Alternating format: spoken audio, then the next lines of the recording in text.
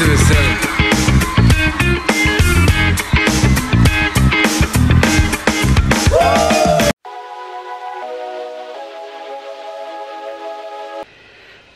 svima, dobrodošli u novi video, dobrodošli na kanal Big Mama, nadam se da ste se udobno smjestili i da se osjećate raspoloženo, bez obzira što je situacija ovako kakva jeste, bez obzira što smo svi zatvoreni, što smo svi u izolaciji, nekako moramo ovo sve da sebi olakšamo na neki način, da dajemo jedne druge savjete kako prebroditi ove teške trenutke. Jer ono što je, eto, bitno reći i ono što daje to neko olakšanje je što smo svi u istoj situaciji, znači svima nam je isto, svi čekamo taj krajnji ishod da se to sve riješi napokon i da počnemo, da u stvari nastavimo živjeti nekim normalnim životom.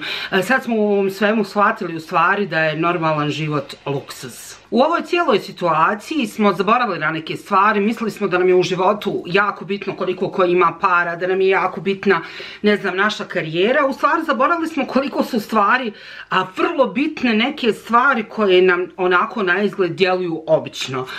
hvala Bogu, prije svega najbitnije je da smo svi zdravi, a druga stvar, evo sad smo u ovoj situaciji shvatili u stvari šta znači biti slobodan. da je sloboda jako bitna, evo sad se mi osjećamo zatvoreni, depresivni, ovako onako eto nastojimo tu fazu depresije nekako izbaciti iz sebe raznim vježbama i ostalim. ja sam razmišljala šta ću vam to snimiti za ovaj 15. dan izolacije, mada Ernadu i meni već možda ovo već i 20. dan nismo od početka počeli da snimamo. nije da smo striktno stalno u kući, izlazimo samo po potrebi, znači pa mogu reći da smo skoro pa u totalnoj izolaciji, izađemo ne znam ako baš nešto moramo do grana pa u tim situacijama ili evo neki dan baš mi je došlo do neke faze ludila pa smo eto izašli čisto da se malo provozamo. E, ja sam razmišljala šta ću vam to snimiti za ovaj video i odlučila sam se da vam možda dam koji koristan savjet šta to raditi u izolaciji. Svi smo mi manje više toga prošli, pa eto ja ću vam dati nekih svojih 10 savjeta šta to ja radim u izolaciji i kako ubijam ovo neko vrijeme dosadno, hajmo reći. A prva stvar koju su vam sigurno svi preporučili jeste čitanje, čitanje knjiga. Preporučuju se razni naslovi, možete elektronske knjige čitati ovako onako, međutim ja ipak volim knjigu uzeti u ruku i tako je pročitati. Što se tiče toga šta čitati, moj vam je neki savjet da uzmete nešto, da čitate čime nećete puno opteretiti svoj mozak. Ja evo trenutno čitam Doživljaj mačka Toše koju, ovo je dječja knjiga koju je napisao Branko Čopić. Vjerujte, ja se tako divno osjećam dok ovu knjigu čitam, nekako opustim se u tom svemu, tako da ću vama rado preporučiti neku knjigu s kojom ćete se onako fino odmoriti, jer Nad je počela da čita Doživljaj mačka Tošće. Šta radiš? Šta ti trenutno čitaš? Doživljaj mačka Toše, Branko Čopić. Kakva je knjiga? Jednom sam je pročitao odavno, sam bio mali, sad je ponovno čitao. To je jednostavno za odmoriti mozak. Bravo, bravo, bravo. uđem u taj doživljaj, događaj i onda fura, ufuram se. Hajde ufuraj si ti, ufuraj sad si mačak Tošo i uživaj u njegovim avanturama, neću te više ometati.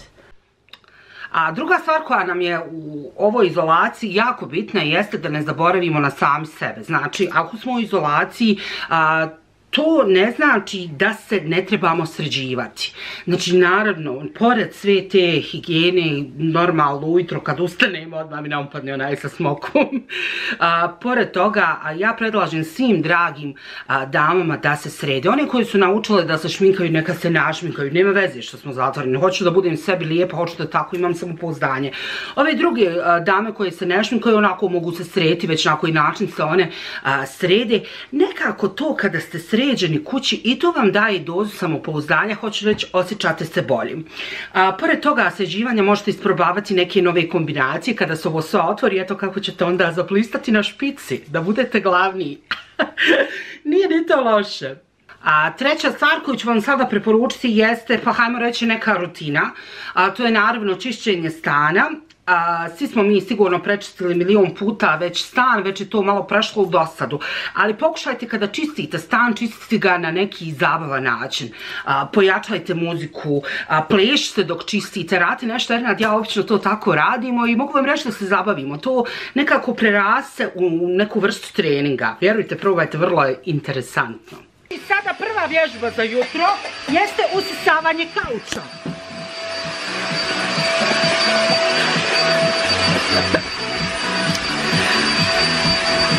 Kako gospodine usisavate kauč? Na koji način? Ovo je super, ovako. To, idemo, javo jače. Wow, wow. Ajmo, idemo.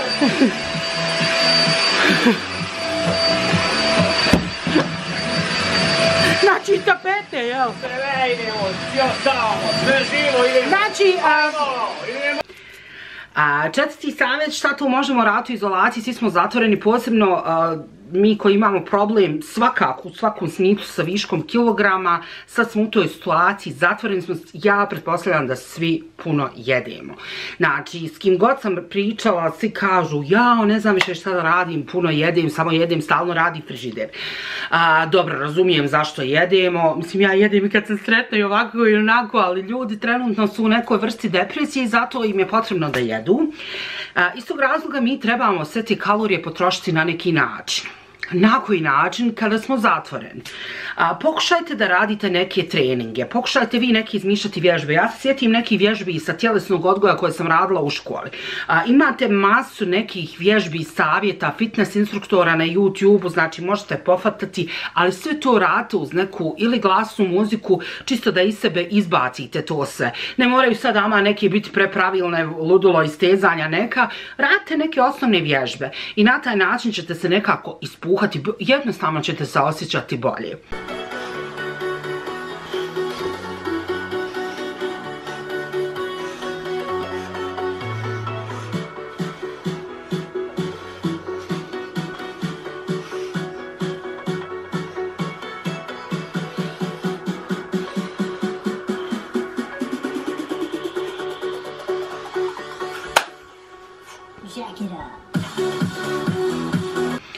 A peta stvar koju ću vam svakako preporučiti tiče se naše psihe.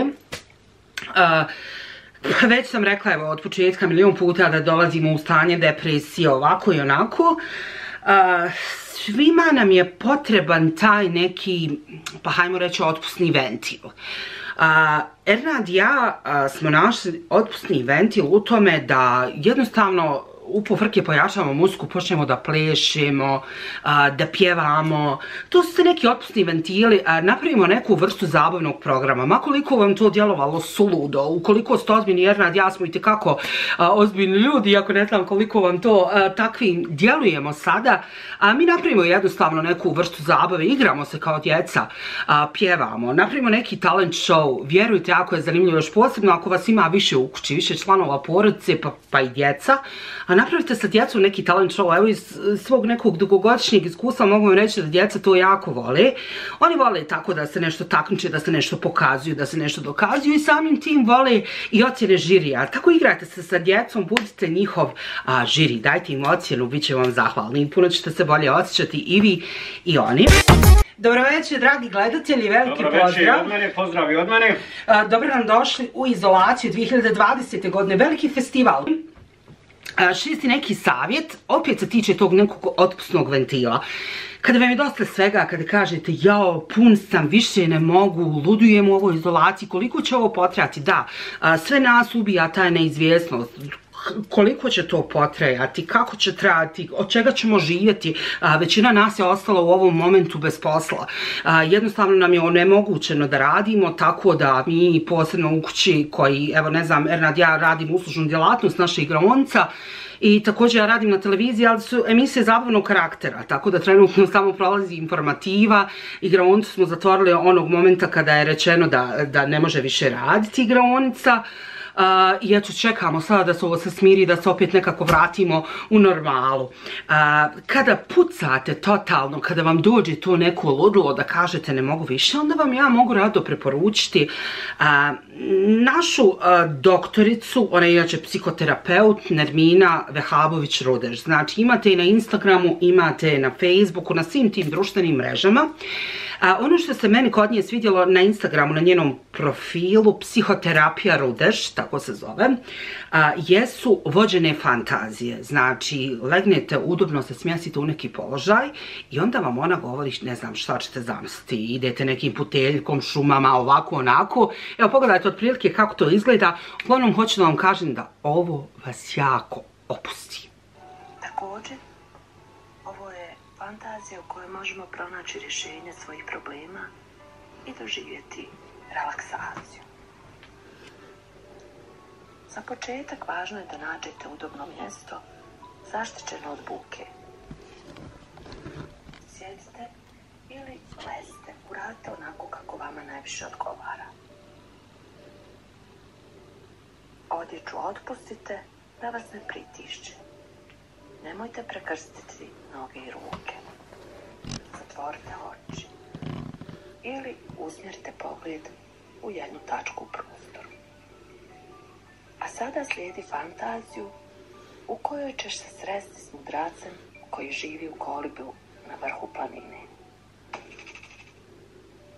Udahni, izdahni. Osjeti podlogu na kojoj počiva tvoje tijelo. A sedma stvar koju ćete svakako probati u ovoj izolaciji jeste kuhanje. Vjerovatno ste svi probali. E sada, oni koji do sada nisu nešto kuhali mogu svakako naučiti neki dobar recept. Imate more recepata na internetu, probajte neki recept, pokušajte nešto svoje skuhati, a vi koji ste profesionalni kuhari, pokušajte naučiti neki novi recept pa, pa nam ga možda preporučiti ukoliko bude to nešto ukusno, da i mi probamo. Ne bi bilo ni to loše. Osma stvar, je li ovo sedma, os, ja nemam pojma. Znači osma stvar, mislim da je to sada koju ću vam preporučiti, jeste igranje igrica.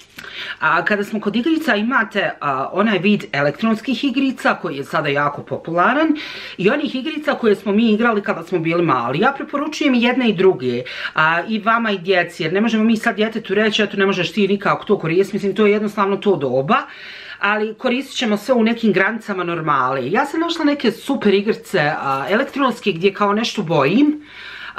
Tu mi je isto super, eto ako vas bude interesovalo ostavit ću vam kako se ta igrica zove, ne znam sad napamet ne mogu da nađem ta mi je igrica super, onda tražim te neke igrice kao s interijerom, kao pravim interijere razne po stanovima, ovako onako i to mi je interesantno.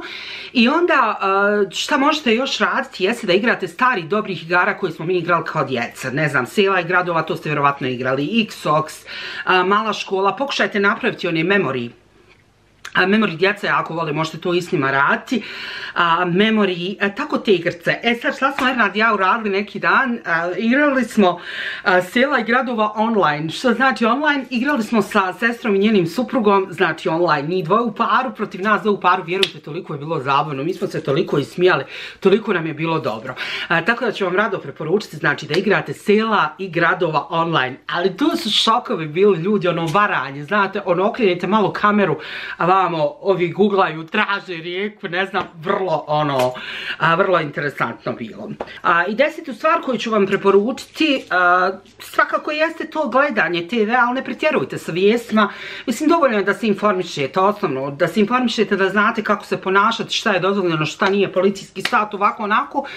To je bitno šta nam kaže civilna zaštita, da to pratimo i mislim da je to sasvim dovoljno. Ovo koliko ovamo ima mrtvi, koliko mislim ljudi, nemojte se toliko opterećavati tim podacima i tim brojkama. Razumijemo, situacija je teška, onaka kakva je. Da li ovi lažu, oni ne lažu? Postoje milioni tih teorije zavjera, ludila.